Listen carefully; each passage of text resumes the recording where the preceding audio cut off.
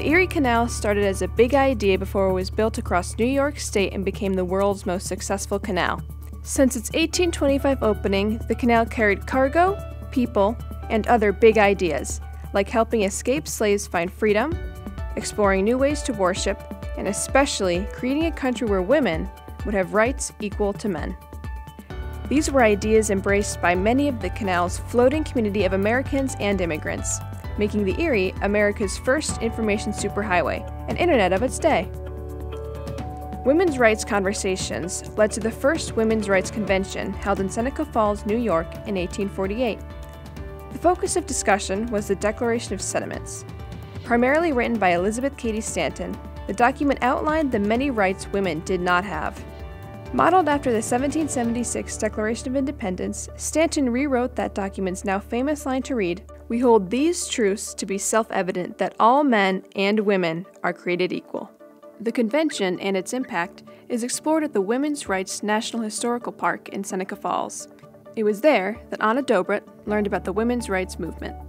I was so shocked that not that long ago women couldn't own property, um, women couldn't vote until just over 100 years ago. Her park visit led Anna to write an award winning National History Day paper about Elizabeth Cady Stanton. As part of her research, she interviewed Stanton's great great granddaughter, Colleen Jenkins. Writing my paper and doing all the research um, inspired me and gave me the connections that I needed to be able to do a bunch of other uh, activism movements. Anna became one of the authors of the 2020 Youth Declaration of Sentiments, which focuses on gender equality issues today, such as the need for equal pay for women in the workplace. I think a lot of people just assume that since women are equal to men under the law, that in practice they are as well, which is not the case. It was really cool to be able to spread that awareness with people my age. Ohio high school student Carolyn Holan combined her passion for biking with her curiosity about the women's rights movement, including women's suffrage, the right for women to vote.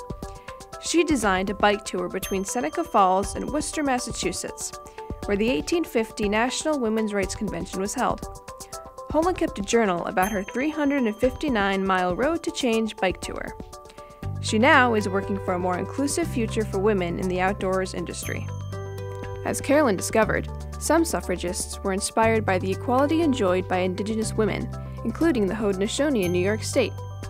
As a Haudenosaunee woman, as an Oneida woman, I think one of the things that is really important for um, people within this country to recognize is that the Haudenosaunee Confederacy gave the United States its form of governance, and it also gave the model for women's rights. After the 1848 convention, the number of people working for women's rights, especially women's suffrage, grew. Between 1865 and 1870, amendments to the U.S. Constitution abolished slavery, declared that all male citizens over 21 years old could vote, and protected the right to vote regardless of race, color, or if a person had been enslaved, but did not include women. In 1878, a new amendment, the 19th, was proposed. It stated that the right of citizens of the United States to vote shall not be denied or abridged by the United States or by any state on account of sex. The amendment was not approved. To get the amendment passed, many groups, including the National Association of Colored Women, joined the fight.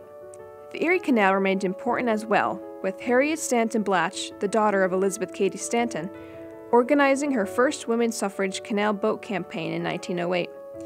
Many other events and protests for and against women's suffrage were held, including at the White House. The 19th Amendment was finally passed in 1919 and ratified by the states in 1920. History is so important. You learn about the past and you learn about the mistakes from the past and you can change them. And so the future can be brighter and better. The suffrage work of Indigenous, Asian, Black, Latino, and immigrant women was often done in the face of racism and discrimination which they also experienced when trying to vote, even after the 19th Amendment was passed. Today, conversations are occurring about voting regulations. Some states have passed laws restricting who and how people can vote. Other states are working to make voting more accessible. Jane Oliver has learned, through her volunteer work on political campaigns, how important it is to be engaged in the political system and especially to vote.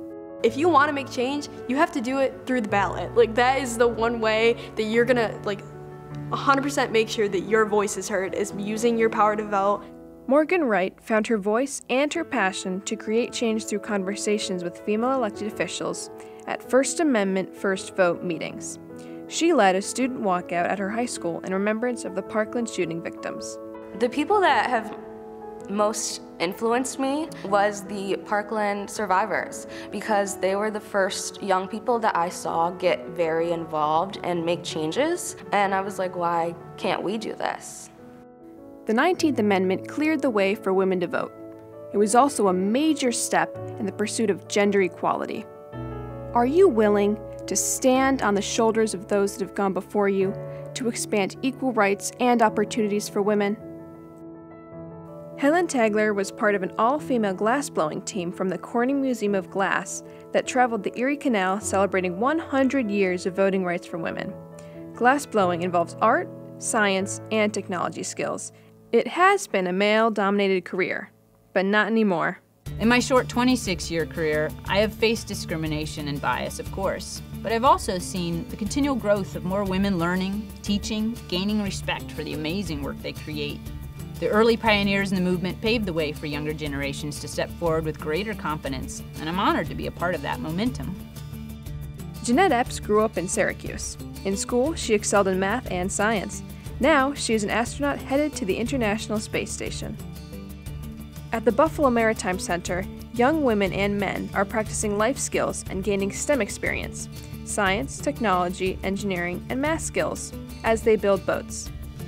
Women today hold only 27% of America's STEM based jobs.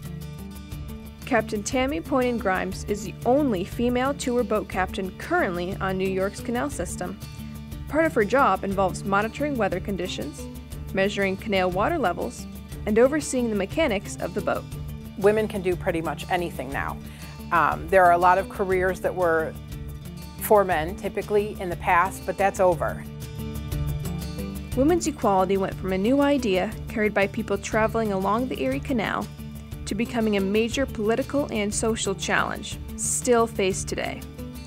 The Erie Canalway National Heritage Corridor exists to be sure that the important industrial, social, and cultural changes that occurred in New York continue to serve as inspiration for your generation. So now it's your turn. Here are three challenges for you to think about. Less than 27% of members of Congress are women. Women only earn about 82% of what men earn in the workplace. A woman has never been President of the United States, but Kamala Harris is the first female, African American, and Asian American Vice President.